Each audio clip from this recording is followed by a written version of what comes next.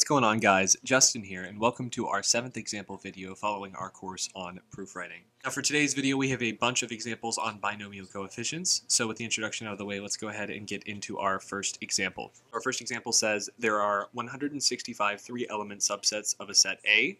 We want to know what is the cardinality of A. So we know that the way to determine the number of three-element subsets of a set A, we take n to be the cardinality of A. We know that the way to determine the number of three-element subsets of A is to take n choose 3. So that means we can set up the following equation. We will have n choose 3 is equal to 165. Now there's a bunch of different ways you could solve for n in this situation, but I just kind of did it through guess and check. And what you'll find is that n is equal to 11. Great, so let's get into the next example. So our second example says, how many five card poker hands contain a three of a kind and nothing else? So the way that we are going to calculate this, we're going to need to multiply the odds for a bunch of different things. So first we're going to need the odds for the rank of the three of a kind, and we're going to multiply that by the suit of the three of a kind. Then we're going to multiply that by the ranks for the last two, and then the suit of the last two cards. So the suit of, we'll just call the first card card A, and the suit of card B. So let's go ahead and write out what each of these are. So the odds for the rank of our three of a kind is going to be 13, choose 1. And the suit for our 3 of a kind is going to be 4, choose 3. And the ranks for our last two cards are going to be 12, choose 2 because we can't pick the same rank as our three of a kind. And then the suits for our last two cards are going to be four, choose one for both. So if you multiply all that out, you'll find that there are 54,912 different five card poker hands that contain a three of a kind and nothing else. Great, so let's get to the next problem. This problem says eight people are to be seated around a table. The chairs don't matter, only whom is next to whom, but left and but right and left are different. We have two people, A and B, that cannot be seated next to each other, and we want to know how many seating arrangements are possible. So before I get around to answering this, let's go ahead and draw a picture to kind of illustrate how this works. Okay, great. There's our picture. We have a circular table and eight seats around it. So to begin solving this problem, let's go ahead and begin by seating A. So it doesn't really matter what seat we put A in, but let's go ahead and say it is this seat here on the top right. So if we sit A here, we know that B cannot sit in either of these two neighboring spots. So that gives us five different possible seats for B. So we'll go ahead and write that 5 down here. So from here, it doesn't really matter what seat you pick for B. But once you seat B, there will be six seats remaining, and there will be six factorial ways to seat the remainder of the people in those seats.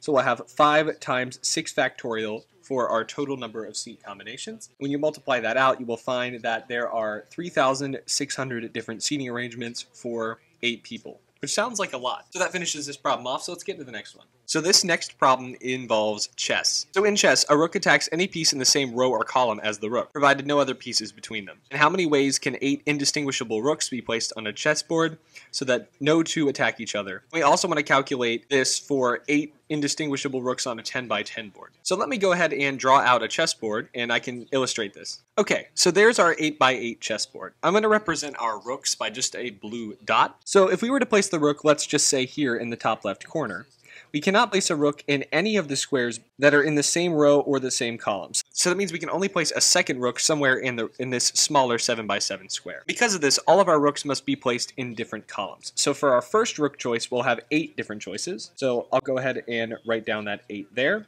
For our second rook, we'll have seven different choices because we'll have this smaller 7 by 7 board, and it's and so on, all the way down to 1. And then our third rook will have six choices, and so on, all the way down to our last rook, which will only have one space available to it. So that means in total, we'll have 8 factorial different ways to position rooks on this board so that none of them are attacking each other. And 8 factorial is equal to 40,320. Great. So let's go ahead and look at a 10 by 10 board. Great. So there's our 10 by 10 chessboard.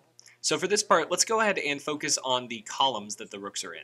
So we know that there cannot be two rooks in the same column, and that the rooks must appear in eight different columns of our 10 columns. So we can choose eight of our 10 columns in 10 choose eight different ways. So now that we've chosen our eight columns, we can place our rooks in those columns. Well, we can place our first rook in 10 different rows, and then our second rook in nine different rows, and so on, all the way down to our last rook, which we can place in three different rows. So we'll have this product from 10 down to 3. I'm going to go ahead and rewrite that as 10 choose 8 times 10 factorial over 2. So let's go ahead and multiply that out to see how many different ways we can arrange these rooks.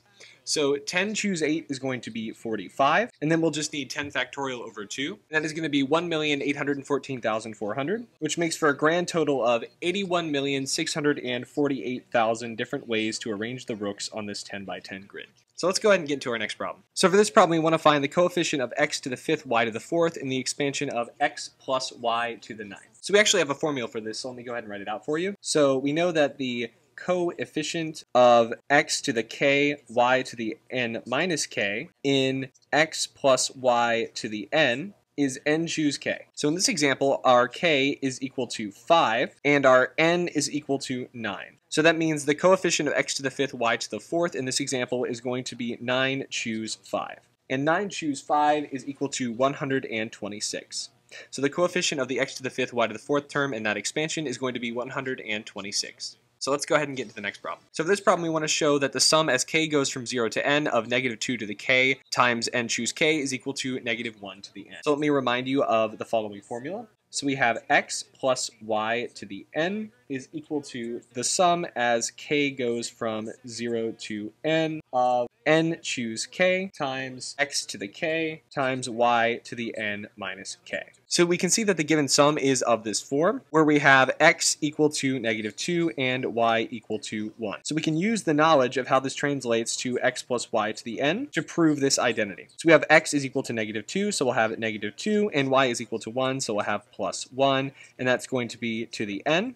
And we can see that that will in fact simplify to negative 1 to the n, which confirms this identity here. Great. So let's get into the next problem. Great. So this problem is another sum identity. So we have the sum as k goes from 0 to n of negative 3 to the k and 5 to the n minus k times n choose k. And we want to show that that is equal to the sum as k goes from 0 to n of n choose k. Now, we know by definition that this that this second part of the sum is equal to 2 to the n. So all we have to do is verify that this left-hand side is also equal to 2 to the n. And we're going to do that using the formula we used for the last problem, which I'll go ahead and paste in once again. So we're going to use this formula to verify that our left-hand side of this identity is equal to 2 to the n. Now we can see that by this formula we have x is equal to negative 3, and y is equal to 5. That means using the formula that I pasted in here, we can write the sum from the left-hand side of our identity as negative 3 plus 5 to the n. And from there, it's very easy to see that that will just be equal to 2 to the n, which is the same as our right-hand side, which confirms this identity here. So that finishes this last problem off, and that's a good place to stop.